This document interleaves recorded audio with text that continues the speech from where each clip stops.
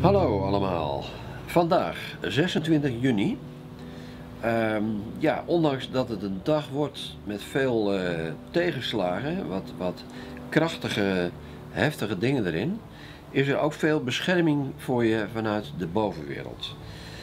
Nou, dat is mooi, dat is altijd meegenomen, omdat ehm, ja, je brengt eigenlijk te veel harmonie naar de mensen om je heen. Je bent te veel aan het pamperen, zegt men dan.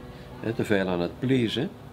En daardoor is het evenwicht eigenlijk weg met wat jij zelf aan kan en eh, wat die ander nodig heeft, of die anderen om jou heen nodig hebben.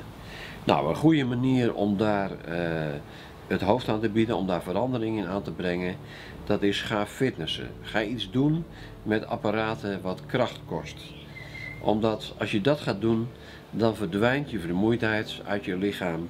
Dan verdwijnt er een hoop negatieve energie uit je lichaam, waardoor je uh, fitter gaat worden.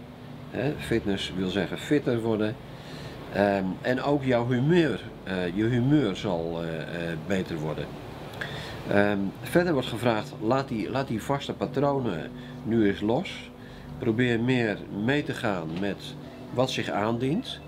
Want met jouw grote creativiteit red je jezelf eigenlijk overal uit. Door vertrouwen daarin te hebben, komen de dingen gewoon goed. Dat is eigenlijk de boodschap, boodschappen van 26 juni. We are going for the day of the 26th of June. And I have my colleague telling me this is also a day for laughing.